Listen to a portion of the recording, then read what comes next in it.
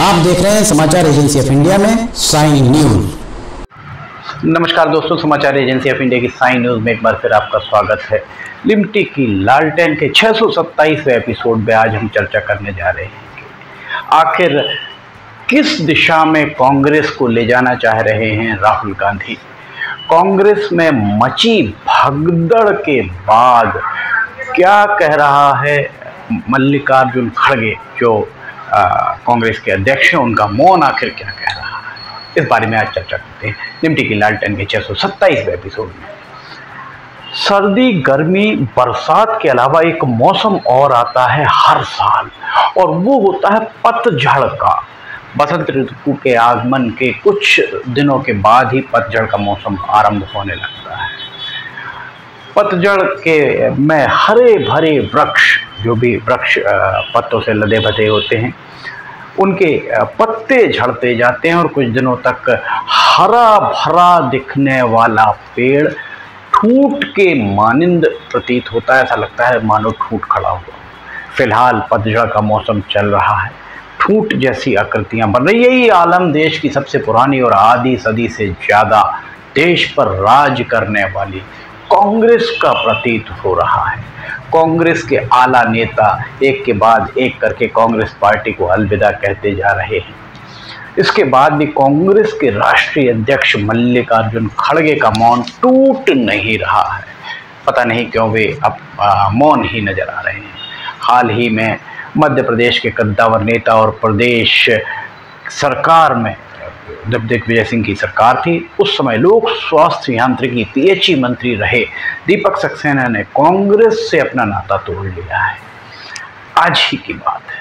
दीपक सक्सेना की पकड़ सहकारिता क्षेत्र में गजब की है। वे कोऑपरेटिव बैंक के अध्यक्ष भी रहे हैं। इसके अलावा उन्नीस सौ तिरानवे, उन्नीस सौ अंठानवे, दो हज़ार आठ और दो हज़ार अठारह में भी छिंदवाड़ा जिला मुख्यालय छिंदवाड़ा की जिला मुख्यालय वाली सीट छिंदवाड़ा विधानसभा के वे विधायक भी रहे हैं।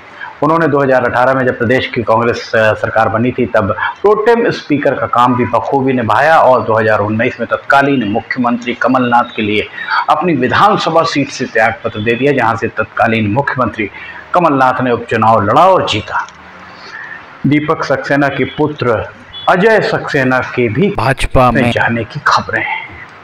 भारतीय जनता पार्टी के उच्च पदस्थ सूत्रों ने समाचार एजेंसी ऑफ़ इंडिया को बताया कि अब तक पंद्रह हज़ार से ज़्यादा लोग भाजपा की रीति नीति से प्रभावित होकर भाजपा का दामन थाम चुके हैं।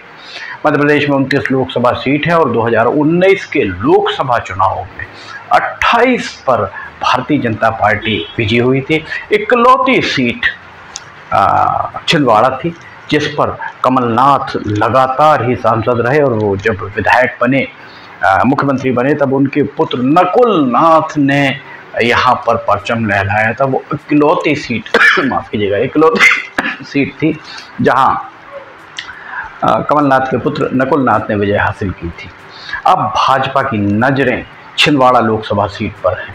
पूर्व मुख्यमंत्री शिवराज सिंह चौहान और वर्तमान मुख्यमंत्री डॉक्टर मोहन यादव भी अपना पूरा ध्यान छिंदवाड़ा पर केंद्रित किए हुए दिख रहे हैं।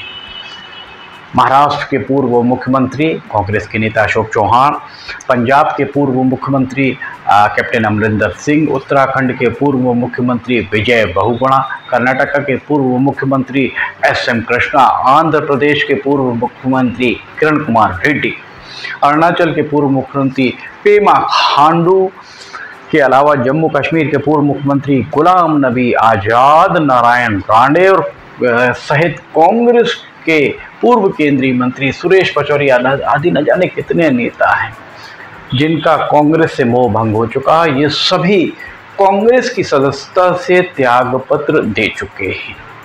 हाल ही में कांग्रेस के वरिष्ठ नेता आनंद शर्मा ने कांग्रेस अध्यक्ष मल्लिकार्जुन खड़गे को एक पत्र लिखा है।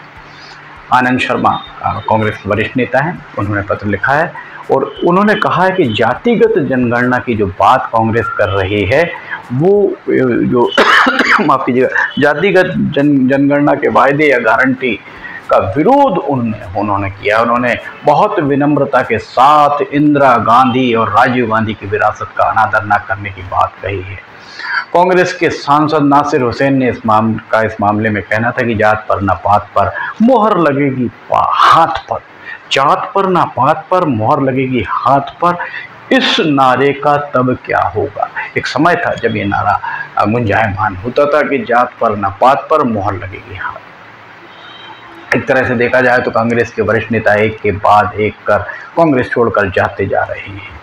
कांग्रेस के अंदर खाने से छन छन कर बाहर जो खबरें आ रही हैं, उन पर अगर यकीन किया जाए तो कांग्रेस की सत्ता की धुरी, कांग्रेस के अंदर जो पकड़ है सत्ता की धुरी राहुल गांधी के इर्द गिर्द घूमती दिखाई दे रही है।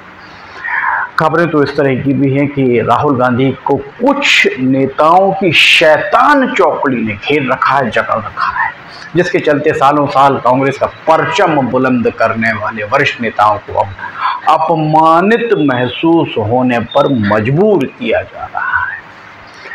कांग्रेस से न जाने, कांग्रेस के न जाने कितने वरिष्ठ नेता एक एक कर कांग्रेस का साथ छोड़ते चले गए और कांग्रेस के नीति निर्धारक, कांग्रेस की working committee C W C के सदस्य, कांग्रेस के सभी महासचिव, in charge general secretaries secretaries general secretaries, यहाँ तक कि कांग्रेस के राष्ट्रीय अध्यक्ष मल्लिकार्जुन खड़गे ने भी अपना मौन नहीं तोड़ा है। कांग्रेस की नीतियों के संबंध में आज भी पूर्व अध्यक्ष राहुल गांधी ही बयान देते नज़र आते हैं और उन बयानों पर कांग्रेस के वर्तमान अध्यक्ष मल्लिकार्जुन खड़गे अपना मौन समर्थन देते नज़र आते हैं। कांग्रेस के अंदर इस तरह की चर्चाएँ भी चल रही हैं कि इससे कमोबेश यही साबित होता दिख रहा है कि राहुल गांधी ही कांग्रेस और कांग्रेस ही राहुल गांधी रह गई है। ये चर्चाएँ कांग्रेस के अंदर होने लगी हैं। यक्ष प्रश्न आज भी यही खड़ा दिखाई दे रहा है कि आखिर कांग्रेस पार्टी को राहुल गांधी किस दिशा में ले जाना चाह रहे हैं? आखिर किन रणनीतिकार अथवा चंडाल चौकड़ी ने चंडाल चौकड़ी, निश्चित तौर पर राहुल गांधी को घेर, घेरे हुए हैं। किस चंडाल चौकड़ी ने राहुल गांधी को घेर रखा है ताकि उन्हें पार्टी के जहाज़ से घेर रखा है, जिससे पार्टी का जहाज़ धीरे धीरे खाली हो रहा है, नेताओं विहीन होने की खबर और राहुल गांधी को नहीं है, पार्टी का जहाज़ धीरे धीरे नेता विहीन हो रहा है। अगर खबर है तो वे इस मामले में इस तरीके का अड़ियल रवैया अख्तियार किए हुए हैं। वे नेताओं को कांग्रेस के मोहभंग होने की स्थिति भी स्थिति में भी उन नेताओं को रोकने का कोई प्रयास करते नज़र नहीं आते हैं। यह तो आ, तो यह 28 दिसंबर अठारह सौ पचासी को जिस कांग्रेस की स्थापना की गई थी, उस कांग्रेस के लिए उस कांग्रेस के एक साल पुराने इतिहास के लिए सबसे शर्मनाक माना जा सकता है। ऐसा ही अगर चलता रहा तो आने सब, आने वाले समय में कांग्रेस के लिए कार्यकर्ताओं का टोटा अगर किसी को नज़र आए तो किसी को भी आश्चर्य नहीं होना चाहिए, क्योंकि नेताओं के साथ उनके कार्यकर्ताओं की निष्ठा होती है और नेता ही कांग्रेस का जहाज़ छोड़कर जाते जा रहे हैं तो आखिर उनके समर्थक कार्यकर्ता वहाँ कब तक टिके रहेंगे? यक्ष प्रश्न ये भी खड़ा हुआ है। समाचार एजेंसी ऑफ़ इंडिया की साइन न्यूज़ में लिमटी की लालटेन के छः सौ सत्ताईसवें एपिसोड में फ़िलहाल इतना ही। अगर आपको समाचार एजेंसी ऑफ़ इंडिया की साइन न्यूज़ में लिमटी की लालटेन या अन्य खबरें देखना है तो समाचार एजेंसी ऑफ़ इंडिया की वेबसाइट या साइन न्यूज़ के चैनल पर, न्यूज़ चैनल पर जाकर आप इसे देख सकते हैं। अगर आपको ये सब खबरें पसंद आ रही हैं, लिप्टी की लालटेन पसंद आ रही है तो आप इन्हें लाइक सब्सक्राइब और शेयर ज़रूर कीजिए। साथ ही नीचे कमेंट बॉक्स में लिखकर बताइए कि आपको ये खबरें कैसी लग रही हैं। समाचार एजेंसी ऑफ़ इंडिया के सहयोगी अखिलेश दुबे के साथ लिमटी की लालटेन का छः सौ एपिसोड लेकर बहुत जल्द हम हाजिर होंगे। फ़िलहाल आपसे इजाज़त लेना चाहेंगे। जय हिंद।